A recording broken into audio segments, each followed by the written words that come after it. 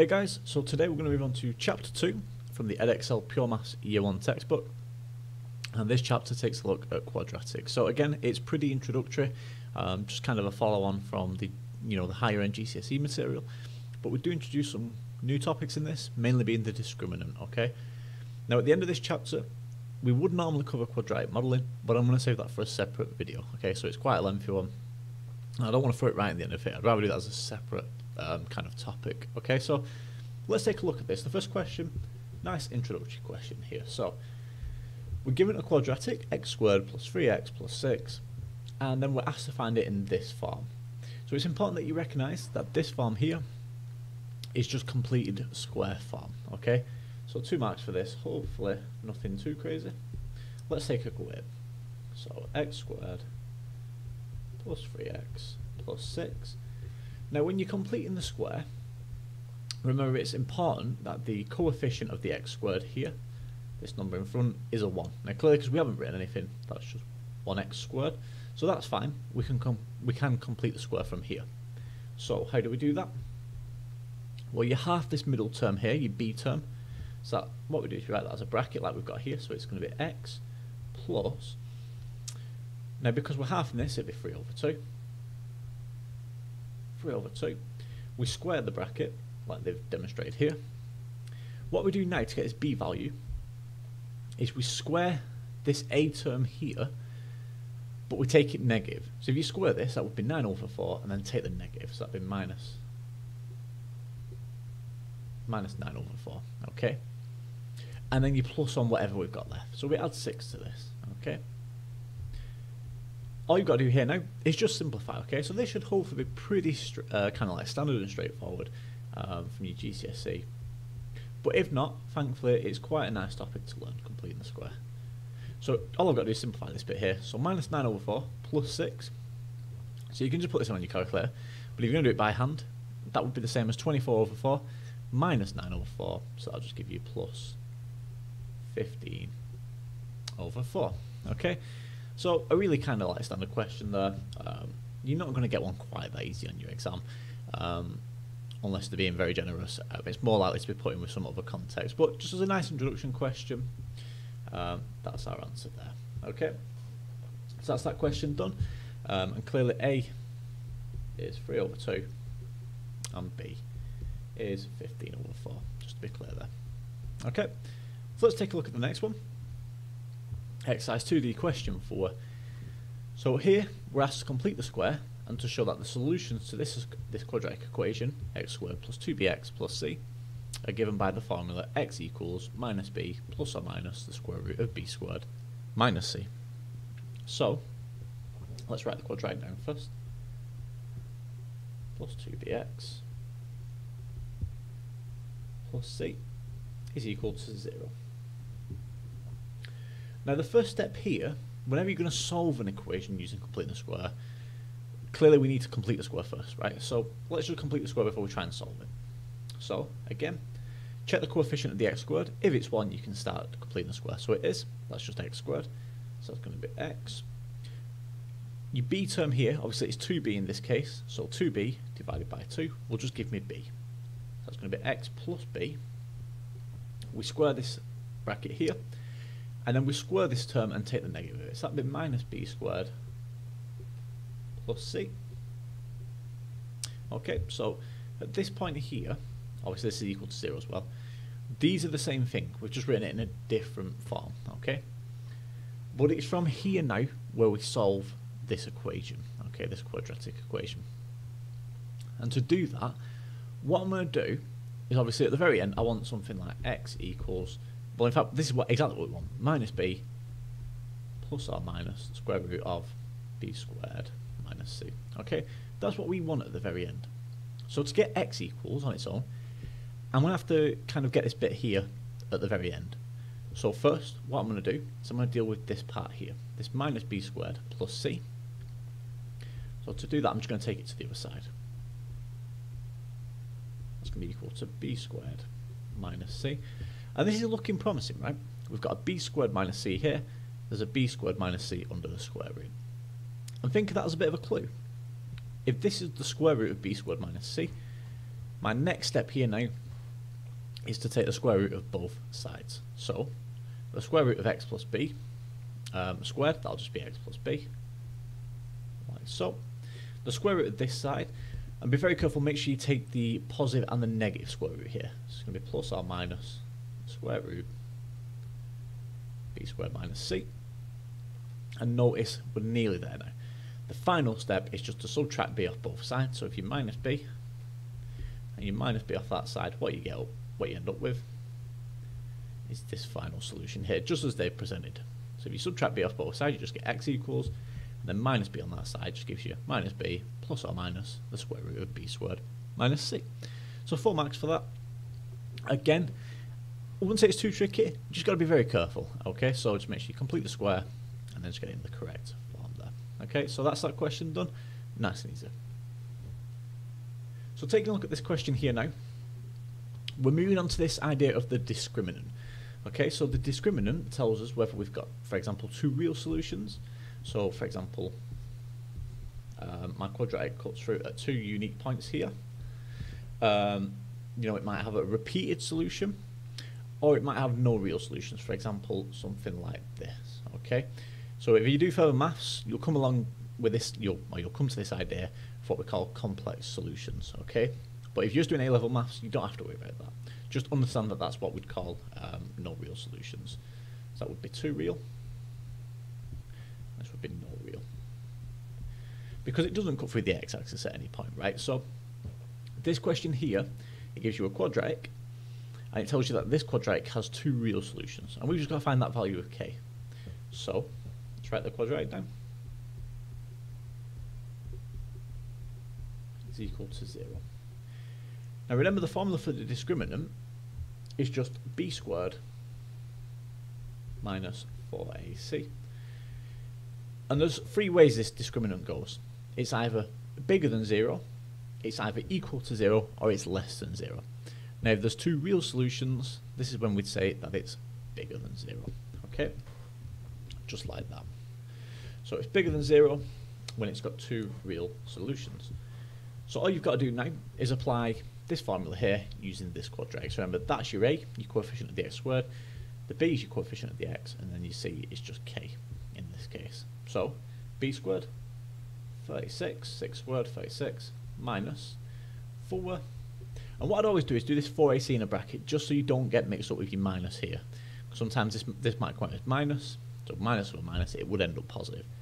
So minus bracket 4 times a, which is 1, times c, which is k that's going to be equal to 0. Uh, sorry, that's going to be greater than 0. So ignore me. Greater than 0. So 36 minus 4 times 1 times k, so that's minus 4k, is greater than 0.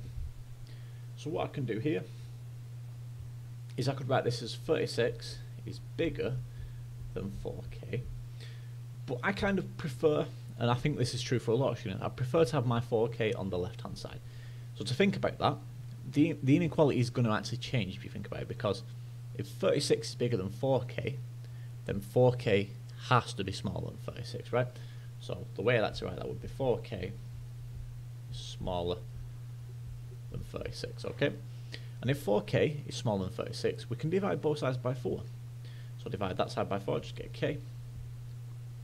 The inequality won't change because we're not dividing by a negative number. And then 36 divided by 4 k has to be smaller than 9. Okay, so that there is my final solution. So for any value of k less than 9, it satisfies here that there is two real solutions. Okay, so that's just that question then, that being our final answer. So let's have a look at another one. Similar again. We're given another quadratic, but this time we're told it has equal roots. So just like we were mentioning, we've got to choose whether it's um, greater than 0, equal to 0, or less than 0. Now, we've already noted that greater than 0 is two real. If it's less than, this is what we'd say um, is no real solutions. So that just leaves us with our final one here, this equal, and this is when we've either got a repeated root or equal roots. It's the same idea. So equal roots. Okay, So we've got to implement that idea with this question. So my quadratic sx squared plus ax plus x pl plus s sorry has equal roots. So it's going to be equal to zero in this case. It's got equal roots. Um, oh, sorry, the discriminant will be equal to zero. So just ignore that for now. So if I do the discriminant here, b squared minus 4ac is equal to zero. Okay, so I'm making a lot of mistakes today. Hopefully you guys don't make the same mistakes. So if it's equal to zero, I've just got to apply it to this quadratic now. So b squared, so 8 squared, that'd be 64, minus bracket, doing a bracket again, 4, times a, which is s, times c, which is also s. Okay, and we know this is equal to 0. So, um, all we've got to do now is just solve this for s. So, what's my pen? Solving this now, I get 64 minus 4s squared being equal to 0. And all I've got to do is take this onto the other side, right? So um, what I should have here now is just hopefully a nice easy equation to solve.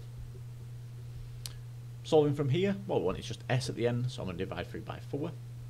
That gives us s squared is equal to 16. Now notice the question just wants the positive constant s, okay? So we're going to basically omit the negative solution. So what you would actually get here is s being equal to the plus or minus of the square root of 16 which would give you plus or minus 4. But we only want the positive constant, so therefore s is equal to 4. Basically, we're omitting the negative um, s value there. So two marks for that. And again, just demonstrating the idea of the discriminant. So 2 real is greater than 0. Um, if it's less than 0, there's no real solutions. And if it's equal to 0, um, it's either a repeated root, that's one way we can describe it, or it's equal roots. So that's that question done. Let's take a look at the next one. So a quite a standard uh, like exam question here. Um, this is from mixed exercise 2. So we're given a function here. Now it doesn't matter that we're given it as a function, just kind of treat it the same. Um, now we're asked to write f of x in this form here. So it's 2 to the power of x minus a times 2 to the x minus b. So to do this, think about the function that we start with. So 2 to the 2x minus 20 to 2x plus 64. So x is just a real number, but don't let that bother you. Now what I've got to do here is think about rewriting this. Well, the first thing that pops out to me is this 2 to the 2x. I could write that as 2 to the x squared. Now I can't really do anything with anything else, so I'm just going to write that out as it is, so minus 20 so 2x plus 64. Now notice at this point, and this is very, very common, so if you see a question like this, the first thing you need to think about is, you know, what we sometimes call like a hidden quadratic or a disguised quadratic. So what I'm going to do, just to make it easy for some people, is I'm going to say let y be equal to 2 to the x. You don't have to do this step, but it makes it easy for a lot of people. So wherever you've got 2 to the x, replace it with y, so that's y squared minus 20y plus 64. And what I'm going to do here is I'm going to factorise now at this point. You can factorise this line here, but it can be harder for some people to see what's going on. So if you just write in this disguise form here, um, or you know the the un you know disguise form, we get this quadratic. I'm factorising this here now. I'm going to get y minus 16 and y minus 4. Okay. But obviously don't forget y is 2 to the x, so I'm going to write that in the, the form that we want now. So that's 2 to the x minus 16, 2 to the x minus 4. And that's simply it, right? So that's part A done. 2 to the x minus 16, 2 to the x minus 4. So A would be 16, B would be 4, for example, or the other way around, depending on which way you write it. And then part B is a follow-up.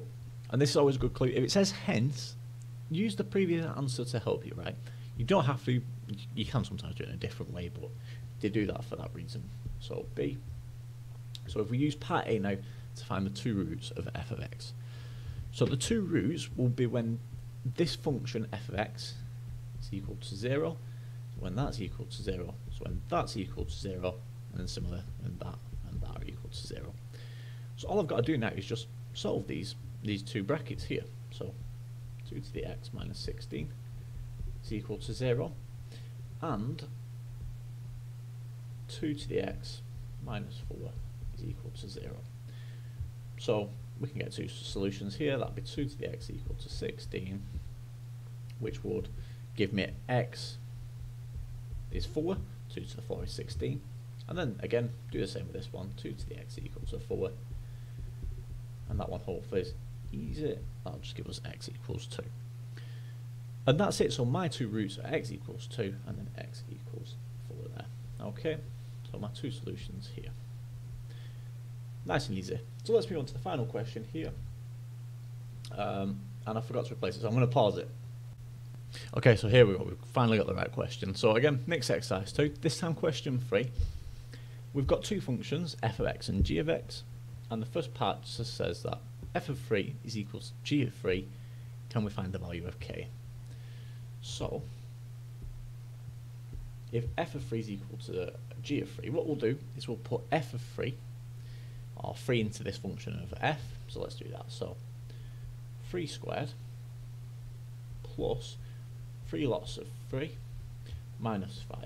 Okay, so if you're not confident with this kind of function notation, all we're saying here is that wherever there's an x for f of x, we're replacing it with 3. So wherever there's an x, it becomes a 3. Well, let's work this out. 3 squared is 9, plus 3 times 3, so that's 3 squared again, which is 9, minus 5. So 18 minus 5 will give us 13. So f of 3 is 13, which means that this is equal to g of 3, which is also 13. But let's work out g of 3, because we've got a k here. So 4 times 3, so g of 3 would give us 4 times 3, which is 12 plus k, but we know g of 3 is equal to 13. So if we equate this to 13, 12 plus k is equal to 13. So what do we add to 12? C was 13. That's just clearly got to be 1, right? So k is equal to 1. So that was the first three marks. Quite a nice easy three marks. And then part B, we have to find the values of x for which f of x is equal to g of x.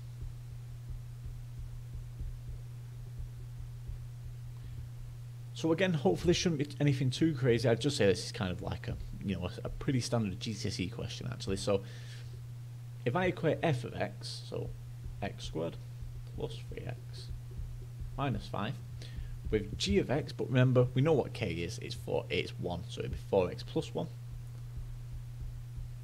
And all we've got to do here is just solve this. So if we solve this now, I'm going to take 4x off this side, So I'm going to get x squared. 3x minus 4x is minus x. And then minus 5 minus 1 will give me minus 6. And at this point here, this is equal to 0. And I'm going to look to factorize here. So it's going to times give me minus 6 and add to give me minus 1. So I can have um, minus 3 and then x plus 2. That should work. X squared. Yeah, perfect. So therefore, my two values here are going to be x equals minus 2 and x is equal to 3. Okay, and there we have it. So that's this video done. So that's pretty much quadratic, um, you know, the quadratic section done. I'm going to do quadratic modelling as a separate video, um, but other than that, that's this chapter